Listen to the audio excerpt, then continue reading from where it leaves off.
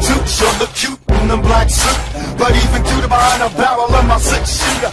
Ooh, you look worried cause I ain't buried. Punks leave in a hurry cause I thought Flurry's making motherfuckers scurry. The bitter flavor from my single. It brings out tingle, I'm feeling stronger than a fucking man dingo in the house that for black history. I stay strapped, they love the jack, those that slang that crack misery.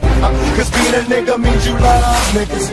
Then how could you love niggas if you tryna drug niggas? You motherfuckers when blacks kill blacks, we stay trapped, and that's real. And we don't need no more statistics. It's time to get more realistic for the young, the black, and the gifted. And until my people get uplifted, there's no popping shit, just popping clips instead of marching. We gon' rip shit.